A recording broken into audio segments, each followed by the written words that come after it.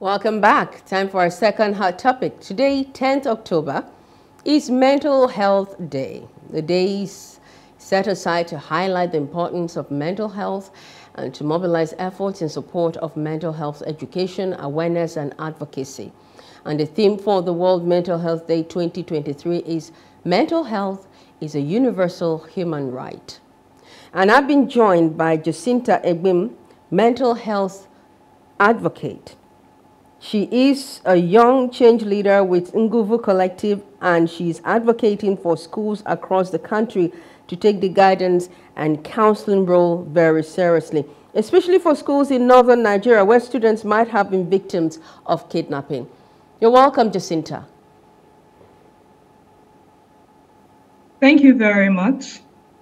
All right. First of all, um, before we go into uh, mental health and why it's important to set this day apart, you know, to create all this awareness and education around it. Tell us why you are doing what you're doing in the North.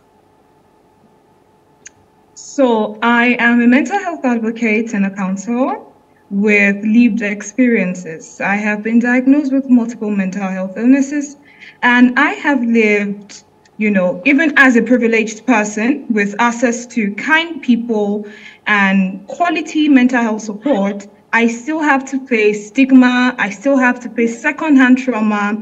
I still have to face, um, as an empathetic person, the struggles of others around me. So I started what I would call my mental health journey um, solely, actually, was primarily inspired by my experiences and then by the experiences of the people around me and those I have encountered. Mm -hmm. And in the course of your work in the North, how would you say um, the state of their mental health is, especially those you've discussed with those you've attended to who um, have experienced kidnapping? Did you, did you speak with survivors of kidnapping? Oh, yes, yes, yes, I have. I have spoken to quite a number of them.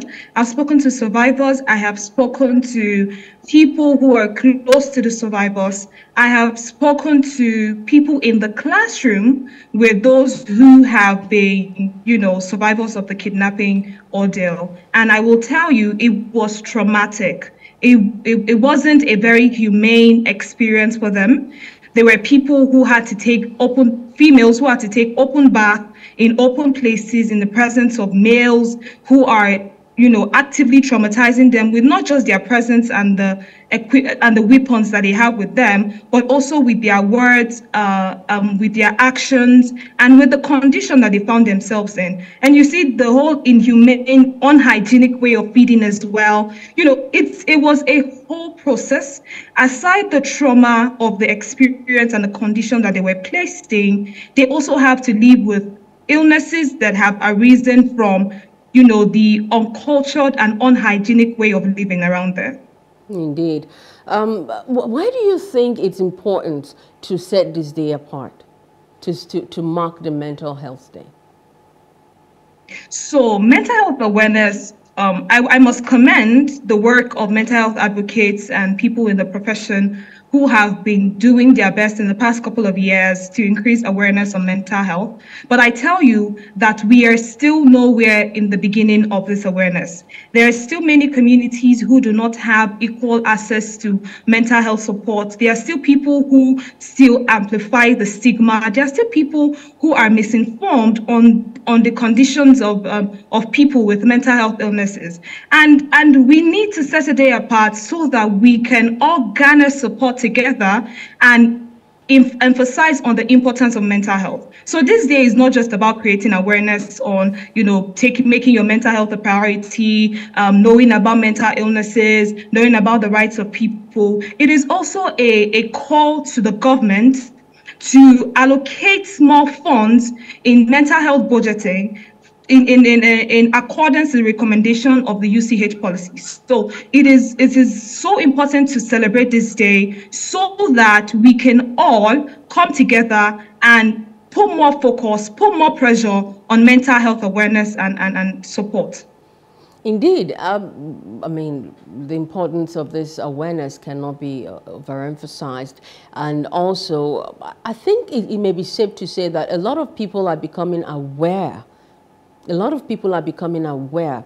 Uh, I think maybe now, as you are saying, emphasis should now be more on action. And I do understand that the former president, Muhammadu Buhari, did sign the Mental Health Law uh, Act into law. Um, what's the state of that, of the implementation of, of that law in the so, country? So um, I'm part, I am part of a coalition that had, you know, put more pressure on the president to pass the bill. And, you know, it was a good feat in the mental health community in Nigeria. But, you know, it was just the beginning of a long journey. And we know how policies in Nigeria can be it's it's the beginning of something but the implementation is another thing. But i must commend the federal government and you know the, the national mental health program under that uh, ministry they have been um, engaging csos communities and increasing awareness on you know the policy and making sure that more people are represented. People with lived experiences are having to review the policy and how it impacts their life and and how they can ensure that the implementation process is very inclusive and very diverse. So it, it they have actually been having a very good start in in the implementation process I have been part of quite a number of um, policy review meetings meetings with the federal government. I have, my coalition network as well, has been part of the um, community involvement and empower, empowerment program for you know the, the, the implementation of the policy so it is it is actually a good start we have started on a good note we just need to put more pressure in the implementation process tell us more i'm not sure i quite got you tell us more about what this government is doing with regards to implementing this mental health law in the country, across the country? Okay. Okay. So one thing is to have a policy. Mm-hmm. Another thing is to ensure that it is representing the right people that it's supposed to represent. And you know, when we passed, when they passed this policy, it was so important that they include CSOs, people with lived experiences like me, mm-hmm. and you know, community leaders and international NGOs to ensure that this policy is a, a good representation of the Nigerian people. So starting from that end, the policy review end, it, it was a good start. We have done quite a number of workshops. We have done quite a number of um, policy review meetings across the country but I wouldn't say that they have started implementing the provisions in the primary healthcare centers in we haven't seen the impact on budget allocation. We also haven't seen the impact on you know ensuring that suicide is not a criminal act anymore. Mm. but it's a good start. It's a good start that they want to include more people in this policy implementation process Indeed. Uh, it's good to have you say that. You know, one of these things you just highlighted, I didn't even know was part of, of, of it. And, you know, to, to make, to say that suicide is no longer a criminal act, because sometimes when you hear um, people who su survived suicide being um, punished or being uh, called to question, you, you, you wonder, why didn't you take care of them before it got to that stage?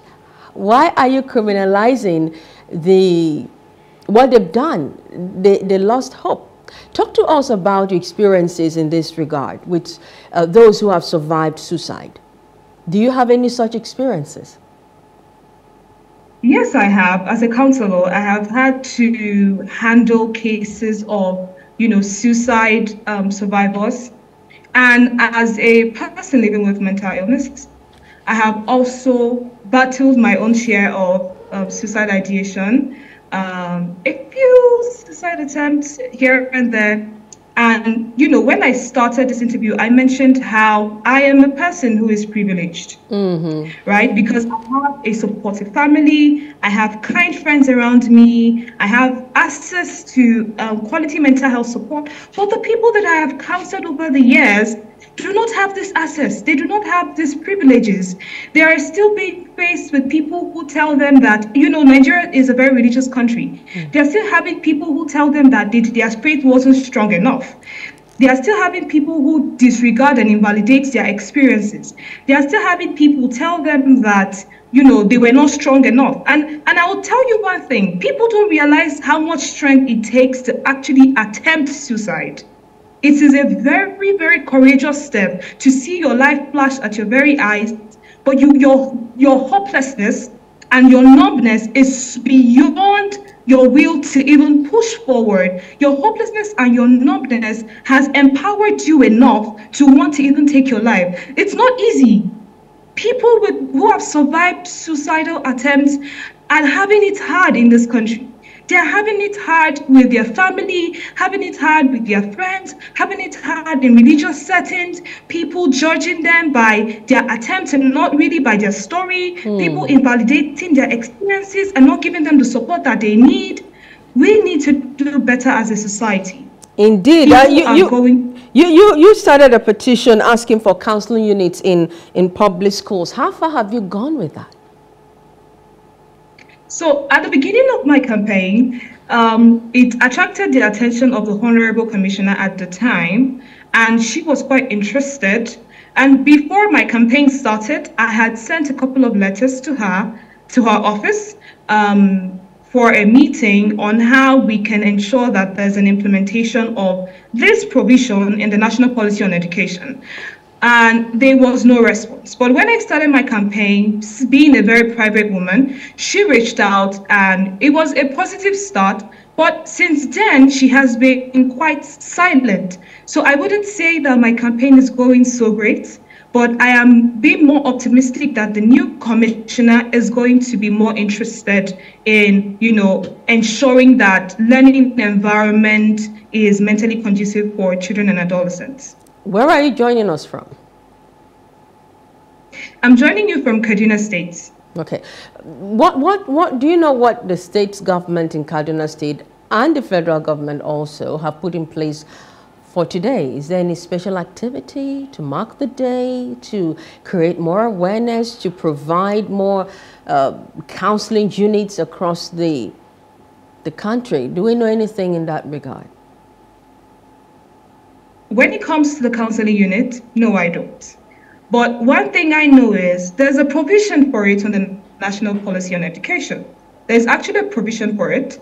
It is left for, like I said, most policies in Nigeria are not being seen through in the implementation process. So it is still a gradual process that I'm trusting that they should hasten. So this is my call to them that, that they should hasten that, that process of ensuring that on this day, we don't just talk about mental health in workplaces, in schools, but we also see through the provisions that it has for um, assessing mental health first aid. What would you say to people watching um, with regards to how to treat people? You, you are a survivor and you say you were diagnosed several times. Uh, what would you say to people who are watching with regards to how to, to, to, to treat people, you know, speaking against stigma right now? What's your advocacy against stigma? So um, I, I popularly say that you do not define what support is. The person facing the challenge is the one who defines what support means to them. So, as a nation, as a community, as a people, I would advise that we actively listen to people who are facing mental challenges, that we actively support them in the way that they desire. So, someone is going through depression, and of course, we know it's a, a harsh economic um, phase we're in, but you can't just assume that these people are facing just financial challenges. There are still people who face other challenges that finances may not solve. So it is important that we all try to be active listeners, compassionate and empathetic supporters, and we ensure that we continue to be more informed. So before you speak, ensure that you have the adequate knowledge on the subject matter so you don't spread misinformation and amplify stigma. And also, when you see injustice in the health sector, in the workplace, in schools, ensure that you speak up for people who cannot speak. Most people with mental health illnesses in Nigeria are too, they are too um, muffled by the pressure of stigma that they don't get to speak up for themselves. So, you who have the voice, please speak up for us. We would appreciate that. Can action be taken? And if action can be taken, what actions? Sorry, come again. Actions. What actions can be taken by people, not survivors now, but those who are within reach? First, I will go by I will go with the federal government. We have to set regulatory bodies for mental health first aiders to help us um, increase more accessibility for mental health support. Then, as people in workplaces, I'm talking to bosses right now, it is important that we have mental health provisions. So, if there are people who are not being very productive at the workplace, give them leave. Give them leave so that they could go and re- um, um, recuperate better. Um, ensure that tasks are being uh, disseminated effectively and not just overwhelming people with uh, uh, job roles. And to individuals, I would advise that we continue to make more research on mental health first aid organizations. We have Mentally Aware.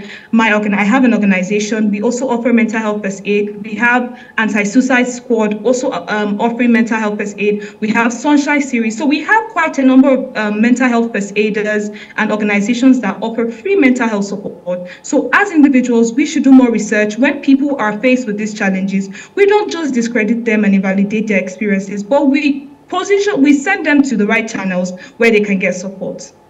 Okay, I, am going to ask you to leave your details, give your details, and also before we go, just imagine you're talking to someone, a survivor. Two minutes, no, a minute. Talk to that person, counsel that person. That's what you do. Hi, I know that times are not easy. I know that you are going through a lot at the moment. I know that you can understand how you're feeling. I know that you are trying to feel something, but you are still being numb. You're still having to struggle with hopelessness. I want you to understand that there is support out there. There are people who still care about you. I care about you. You might not know me personally, but I do care about you. And I would really love to listen to you. I would really love to support you in any way that I can. Nigeria is still in our early stages of mental health awareness and support, but it is not going without saying that there are people who are actually taking steps. So we are here for you. You just have to reach out. It is not for you to handle alone. You need people, and we are here for you. You just listened to a counselor and you just got free counseling from a counselor, mental health counselor, Jacinta. Jacinta, how can you be reached?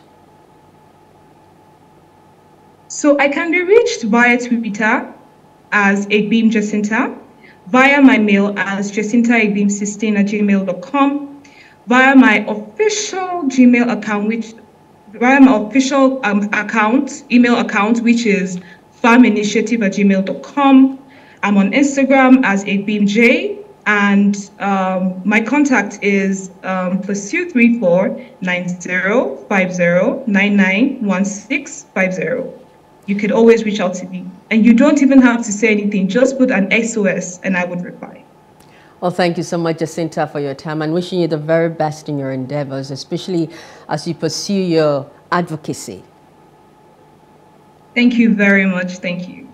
Jacinta Egbeam, mental health advocate, has joined us on the second hot topic to discuss World Mental Health Day. Do take care of your mental health. You deserve it. I am Maureen Menongwezi, and there's a much we have for you today on The Breakfast. Do join us tomorrow. Nyamgo will be here with tomorrow's edition of The Breakfast on Plus TV Africa. You have a great day.